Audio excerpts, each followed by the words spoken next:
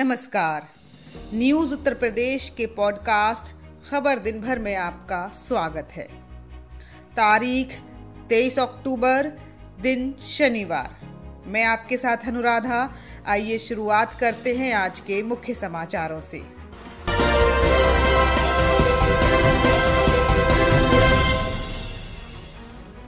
CM Yogi Adityanath का बड़ा आरोप, कहा सपा की सरकार में आतंकवादियों की उतारी जाती थी आरती। सीएम योगी आदित्यनाथ का बड़ा निर्णय, यूपी में माफिया के कब्जे से मुक्त जमीनों पर बनेंगे गरीबों के आवास सुल्तानपुर के इसौली और अंबेडकर नगर की अकबरपुर विधानसभा क्षेत्र में सीएम योगी आज जनसभा को करेंगे संबोधित। कांग्रेस की प्रतिज्ञा यात्रा को बाराबंकी में हरी झंडी दिखाएँगी प्रियंका गांधी। हो सकते हैं कई बड़े ऐलान।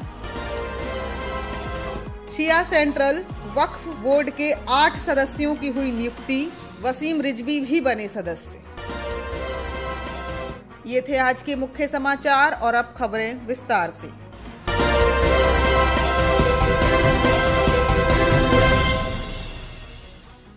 उत्तर प्रदेश के मुख्यमंत्री योगी आदित्यनाथ ने शुक्रवार को विपक्षी दलों पर करारा प्रहार किया और कहा कि सपा सरकार में हिंदुओं पर झूठे मुकदमे दर्ज होते थे।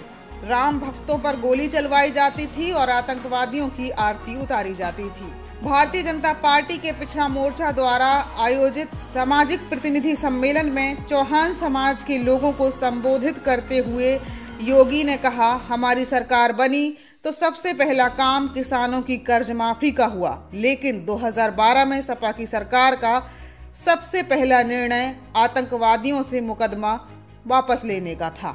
इस सम्मेलन में आगे मुख्यमंत्री योगी आदित्यनाथ ने क्या कहा, आइए सुनते हैं। 2014 के पहले देश की स्थिति क्या थी?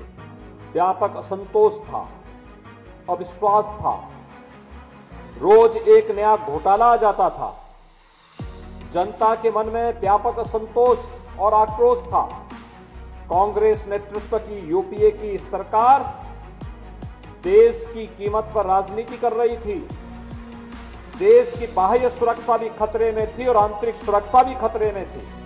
बाह्य सुरक्षा के मोर्चे पर कभी चीन, कभी पाकिस्तान भारत की सीमाओं में घुसपैठ करता था।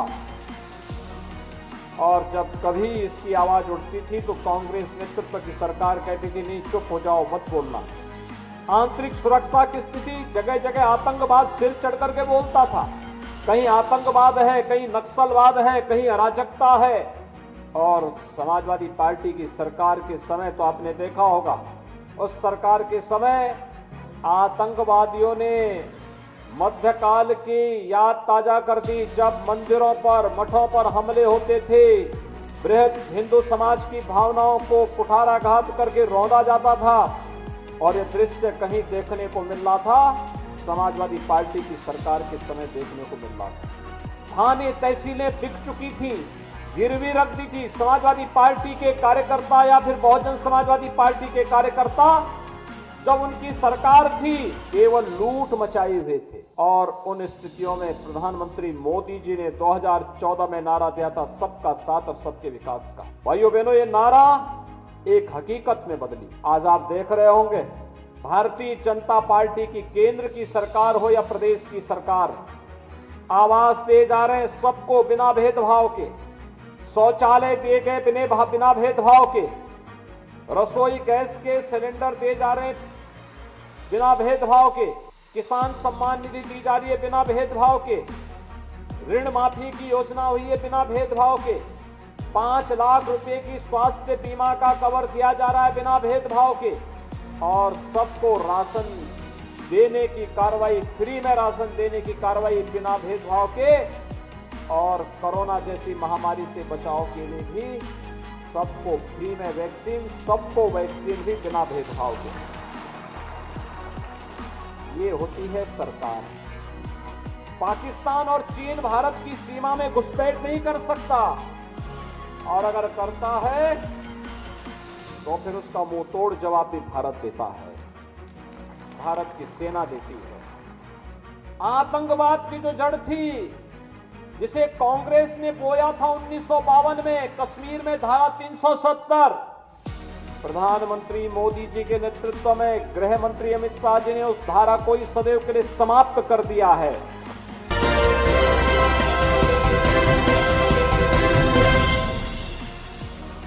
उत्तर प्रदेश के मुख्यमंत्री योगी आदित्यनाथ ने माफिया और अपराधियों के कब्जे से मुक्त कराई गई जमीनों के बेहतर उपयोग के लिए बड़ा निर्णय लिया है। इन जमीनों पर अब सरकार गरीबों के छत के सपने को पूरा करने की नींव रखेगी।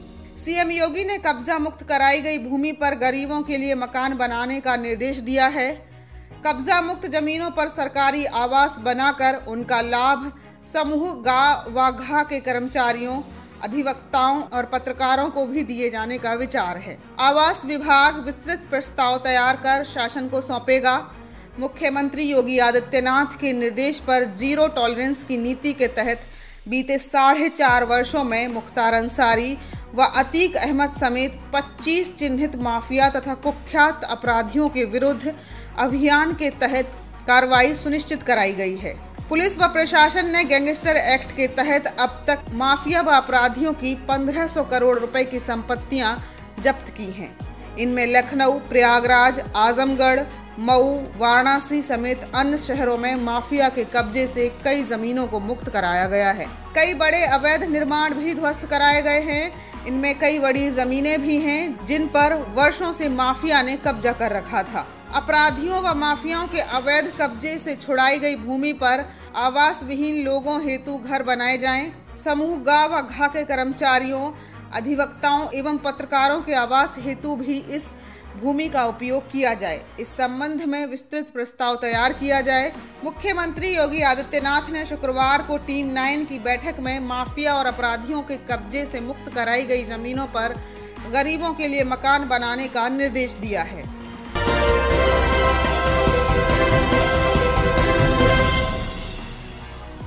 मुख्यमंत्री योगी आदित्यनाथ आज सुल्तानपुर, अंबेडकर नगर और वाराणसी का दौरा करेंगे।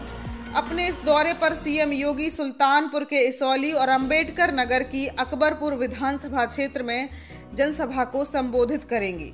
बीजेपी आज तक इन दोनों सीटों पर जीत दर्ज नहीं करा पाई है। ऐसे में सीएम योगी का यह दौरा और यहाँ होने वाली जनसभा और भी महत्वपूर्ण हो जाती है। अपने दौरे के दौरान सीएम जनता को कई सौगातें भी देंगे। सीएम आज सुल्तानपुर में राजकीय मेडिकल कॉलेज का शिलान्यास करेंगे। इसके अलावा दोनों जिलों में साथ साथ योजनाओं को उद्घाटन और शिलान्यास करेंगे। वहीं वाराणसी में सीएम पीएम मोदी के दौरे से पहले पीएम के दौरे की तैयारियों का जायजा लेंगे। अधिकारियों के साथ समीक्षा बैठक भी करेंगे। योगी ने प्रधानमंत्री के कार्यों की सराहना की और कहा कि कोविड काल में सपा तथा कांग्रेस के नेताओं ने लोगों को गुमराह करने का काम किया।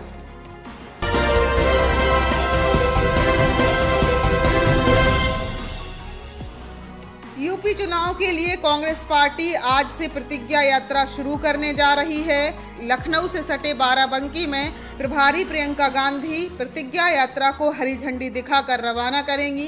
प्रदेश कांग्रेस अध्यक्ष अजय कुमार लल्लू भी रहेंगे मौजूद।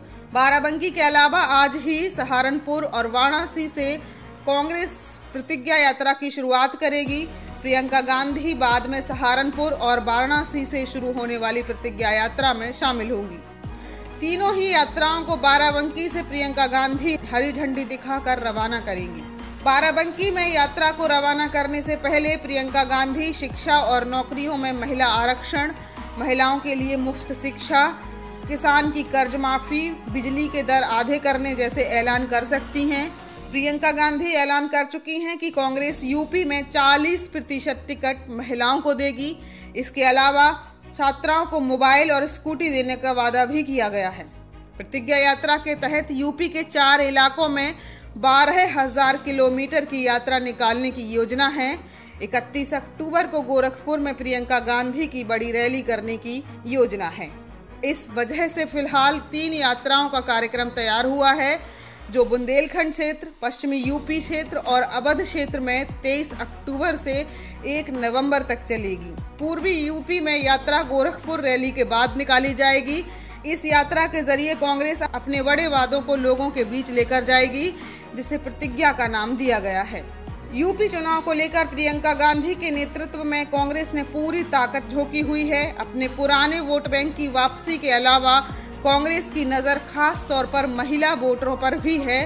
प्रियंका गांधी लगातार यह संदेश देने की कोशिश कर रही हैं कि योगी सरकार के खिलाफ विपक्ष की असली भूमिका कांग्रेस निभा रही है। हाल ही में बनारस में बड़ी रैली कर कांग्रेस ने जता दिया कि उसकी ताकत लौट रही है। प्रतिज्ञा यात्रा का पहला रूट वाराणसी से होकर रायबरेली में समाप्त होगा, जिसमें चंदौली, सोनभद्र, मिर्जापुर, प्रयागराज प्रतापगढ़, अमेठी ज़िले शामिल होंगे। इस रूट का नेतृत्व पूर्व सांसद श्री प्रमोद तिवारी, पूर्व सांसद श्री राजेश, पूर्व विधायक श्री नदीम जावेद करेंगे।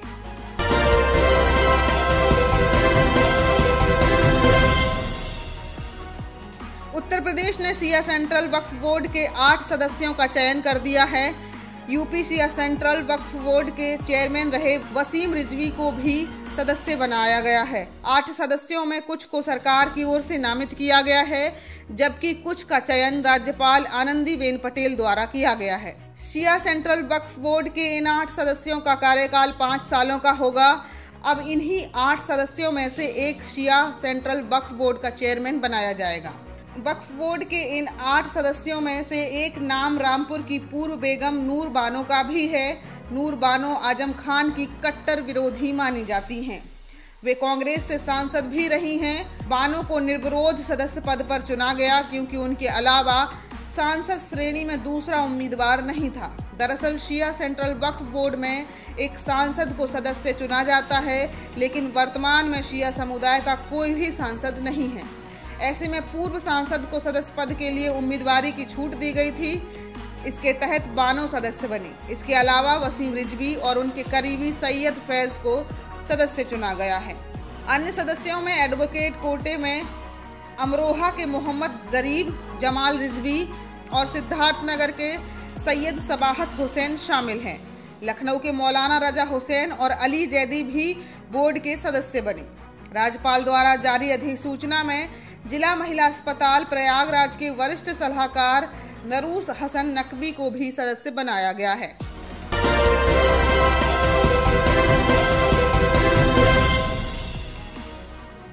खबरों में आज के लिए बस इतना ही। फिर मुलाकात होगी नई खबरों के साथ। तब तक के लिए नमस्कार।